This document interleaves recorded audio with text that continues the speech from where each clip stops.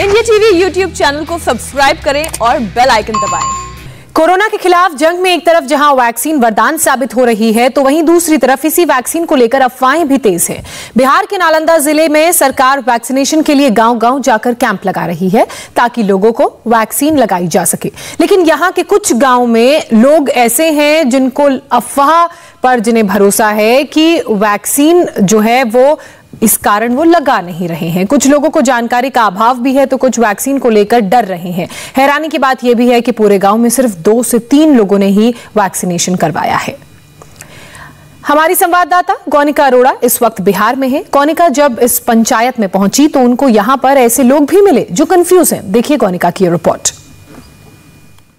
बिहार के नालंदा ज़िले के सब्बैत पंचायत में हम इस वक्त मौजूद हैं। जानकारी मिली थी कि यहाँ पर लोग वैक्सीन नहीं लगवा रहे हैं। कोरोना का टीकाकरण जो बिहार के अब अलग अलग गाँव में हो रहा है अलग अलग जिलों में हो रहा है, बिहार सरकार की तरफ़ से टीका एक्सप्रेस तक चलाई गई है ताकि सुदूर गाँव में भी कोरोना का वैक्सीनेशन हो पाए। सब्बैत पंचायत से जानकारी मिली थी कि यहाँ पर लोग वैक्सीन नहीं लगवा रहे हैं। एएनएम का आरोप था कि यहाँ पर लोगों ने उनके साथ बदतमीजी की और यहाँ पर वो टीका लेकर आते हैं, वैक्सीन लेकर आते हैं, लेकिन लोग वैक्सीन नहीं लगवाते हैं। लोगों को बताया जाता है इसके फ़ायदे लेकिन लोग यहाँ पर वैक्सीन नहीं लगवा रहे हैं। क्यों नहीं लगवा रहे हैं? यहाँ के लोगों से ही जानते हैं। भैया क्या नाम है आपका? मोहम्मद हसीब। हसीब जी आ, आपकी उम्र क्या है? बत्तीस साल। बत्तीस साल है। वैक्सीन लगवाया आपने? कोरोना का टीका लगवाया? जी हाँ कलकत्ता में एक बार लग चुका है। कलकत्ता में लग चुका है एक डोज और दूसरा भी लगवाना दूसरा जाएँगे तो वहीं लगेगा। अच्छा वहीं लगवाएँगे। अरे यहाँ भी तो वही लग जाएगा। अच्छा ठीक है वहीं लगेगा तो। तो ये लगवा लेंगे आप। जी। घर के बाकी लोगों ने लगवाया बाकी लोग का तो अभी नहीं लगा। आपका क्या नाम है? क्या नाम है आपका? अनवरी खातून। अनवरी खातून। खातून जी ये उम्र क्या है आपकी? खातून ज़्यादा नहीं। अच्छा अठारह से ऊपर तो होगी? अठारह से ज़्यादा तो होगी। वैक्सीन लगवाया है कोरोना का? टीका लगवाया है? क्यों नहीं लगवाया? आए थे लगाने? गाय- गाँव में आए थे लगाने? जी। तो क्या कह रहे थे आकर? क्या क्यों लगवाइए? क्या क्या होगा इससे? गाँव में आए मैं उधर आया था। हाँ उधर आप गए थे वहाँ सेंटर पर? हाँ? नहीं। गए थे? क्यों नहीं गए थे? कोरोना से नहीं बचना है? जी नहीं। हम बिहार शरीफ चले गए थे। गाँव में कुछ बिहार शरीफ तो बिहार शरीफ जाना ज़रूरी था कोरोना से बचना ज़रूरी था? कोरोना से बचना है या नहीं बचना है? जी तो बचना तो है। तो पता है कि कोरोना से बचने का उपाय क्या है? टीकाकरण। यही है ना? तो लगवाएँगे अभी जब दो तारीख को कैंप यहाँ लग रहा है लगवाएँगे? लगवाएँगे? अरे हाँ ना तो बोलिए। देखा जाए। क्यों झिझक क्यों है? पहले ये बताइए झिझक क्यों है? क्यों नहीं लगवाना? जवाब तो दीजिए क्यों नहीं लग, क्या लगवाएँगे या नहीं लगवाएँगे? हाँ या ना? हाँ या नहीं? जी। नहीं नहीं लगवाएँगे। कोरोना का टीका लगवाया? ना ना लगवाए। क्यों नहीं? ठीक ठाक है नहीं लगवाए। अरे तो कोरोना तो हो सकता है ना वो किसी को भी हो सकता है। हो सकता मौत या ज़िंदगी के कोई लिया दिया जा भी सकते हैं। हाँ। हाँ। अरे तो पर कोरोना से बचना कोरोना जान ले रहा है तो टीका जान बचा भी तो रहा है। हम टीका नहीं लगवाएँगे। हम क्यों नहीं? तो ऐसी सुइया दवा गेठिया का दर्द है तो सुइया दवा पड़ते रहता मेरे। पूरे हाथ के साथ कोरोना का भी लगवा लीजिए। पूरी जान अब नहीं लगवाएँगे। क्यों नहीं लगवाना है? कुछ सुना है उसके बारे में क्या? डेली तो मेरी पढ़ ही रहा। है अरे तो कोरोना तो जान ले रहा है ना। क्या होगा जाना मौत होगा तो चले कोरोना में गाँव में हुआ ना मौत होगा तो चले जाएँगे। हाँ।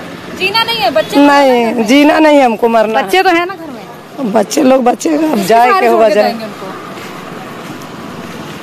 बच्चे है ना घर में किसके सहारे छोड़ के जाएँगे? वो अल्लाह के सहारे है। तो बच्चे तो बच्चे तो बे- बेघर हो जाएँगे ना। क्या कीजिएगा? आपको जान नहीं बचाना है अपना बच्चों के नहीं लिए हमको जान नहीं बचाना है। तो देखिए ऐसे तर्क यहाँ पर लोग दे रहे हैं कि जान नहीं बचाना है जीना नहीं है। जीने की इच्छा किसमें नहीं होती है? सब में होती है। सिर्फ़ ये बताया जा रहा है कि यहाँ पर नहीं लगवाना है टीका नहीं लगवाना है। वजह क्या है? ये नहीं पता है। नाम क्या है? नाम मेरा मोहम्मद यासीन। मोहम्मद जी उम्र क्या है? कितना? साठ पैंसठ होगा। साठ पैंसठ है। कोरोना का टीका लगवाया है?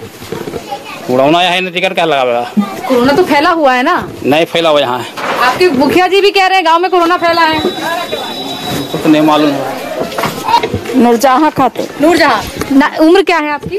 मेरा पैंतीस वाला। पैंतीस है। कोरोना का टीका लगवाया है? हाँ लगाए हैं। लगा लिया? तो ये आपने एक मोहल्ले का हाल जाना। अब आपको इसी पंचायत के दूसरे मोहल्ले की भी तस्वीर दिखाते हैं। यहाँ पर आपके गाँव में आपने बताया था कि तेरह हज़ार की आबादी है इस पंचायत में नौ गाँव में। कितने लोगों ने वैक्सीन लिया है? ये आंकड़ा अगर आपके पास हो और कितने नहीं तो नहीं है आंकड़ा नहीं है। मतलब कुछ लोग बोलते हैं कुछ काम देखे भी हैं पेपर। कि कोई एक, एक बार लिए हैं कोई दो बार और दो बार हो चुका किसी लोगों का ये देखे। हैं अच्छा इस सबैत में ही कहा गया कि इसी गाँव में 200 लोगों ने वैक्सीन नहीं लिया है एक ही गाँव के 200 लोगों ने। ठीक बात है। ज़्यादा ज़्यादा लोग नहीं लिए हैं तो एक गाँव में नहीं है पाँच गाँव है। पाँच गाँव में किसी ने वैक्सीन नहीं लिया है। ये भेड़िया ही आओ। बहुत से पाँच गाँव में लोगों ने वैक्सीन नहीं लिया है। बहुत कम एक आध परसेंट आधा परसेंट लिया होगा तो लोगों ने कह सकते हैं। बिल्कुल नील समझिए उसको। वो पाँचों गाँव में दो तारीख को लगेगा कैंप अब देखिए ये लोग हैं इसको उम्र हो गया होगा ना? पूछिए इससे। अच्छा क्या नाम है आपका? बिहारी माँ जी बिहारी माँ जी ये बताइए कि वैक्सीन क्यों वैक्सीन लिया आपने? नहीं। क्यों नहीं लिया? वैक्सीन लेंगे नहीं। क्यों नहीं लेंगे? वैक्सीन लेने से कितना आदमी मर गया? ये किसने बोला है? कौन बोल रहा है? हम जानते हैं हम देखे हैं। मतलब कहाँ देखा है? कहीं देखा होगा कहाँ पर? हम प्रोसेसिया में भी गए हैं। हाँ। हिलसा। हिलसा में पासवान जी था। हाँ। मैंने सरकारी आदमी। तो उसने वैक्सीन का इंजेक्शन लगवाया और उन्होंने आठ दिन से ज़्यादा नहीं बचा।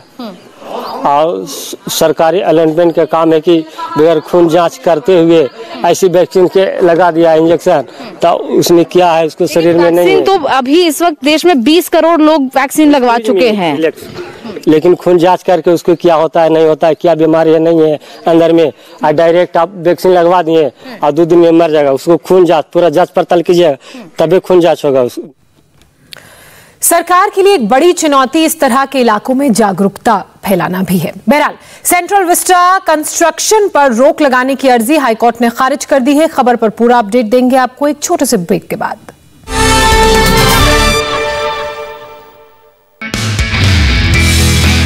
नमस्ते, मैं हूँ मीनाक्षी जोशी। वीडियो और खबरों से अपडेट रहने के लिए India TV YouTube channel subscribe करें, बेल आइकन दबाना ना भूलें। जुड़े रहें इंडिया टीवी के साथ।